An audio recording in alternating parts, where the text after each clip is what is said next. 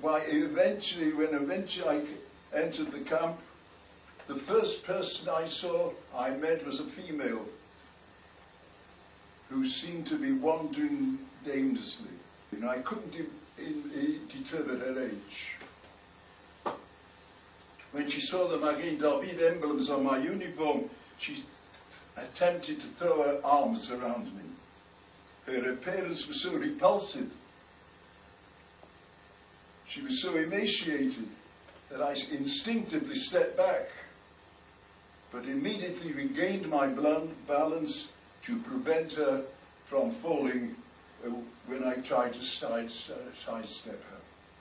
She then said to me in Yiddish, Verlass mir nicht, geh nicht weg von.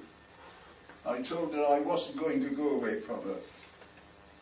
As we walked further into the camp, I suddenly froze, for in front of me several people were lying on the down, on the ground. I asked, why, why were they sleeping there? The girl replied in a tone of voice as if she was referring, as if as uh, to, to a, heap of cast of uh, dolls.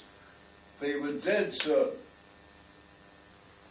Now the spell, which until now appeared to have dumbed all my senses, suddenly broke. And the foul stench of thousands of human bodies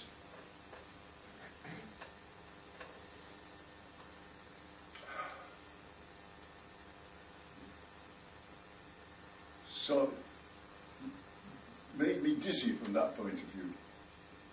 Within a few more minutes, a group of people looking like a number of bones held together by transparent skin came tottering towards us.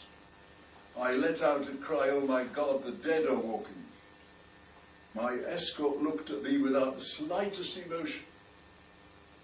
They are not dead, but soon they will be, and soon will we all be dead if more food and medical help are not forthcoming. It was Friday morning. I was in the office in the camp when a knock came at the door. Come in. A middle-aged man, or so he seemed to be, stood, stood hesitantly before me. What do you want? Rebbe, can you give me something to eat in the Kovet Shabbos? First words, first words, like music to my ears. But they feeding you? The, things were going smoothly at that time. He says, yes. But it's the first Shabbos I've been free, and I'd like something like Kovet Shabbos. I went to the cupboard. I stood on a chair, it was a ladder, and I noticed a couple of tins of sardines. That's all I had at that moment. And I was going to bring down the two tins of sardines. He said, Warte minut, warte minut, hakevega went, he saw the outline of the plush bag which contained my tefillin. I brought them down. He said, I haven't davened for three years.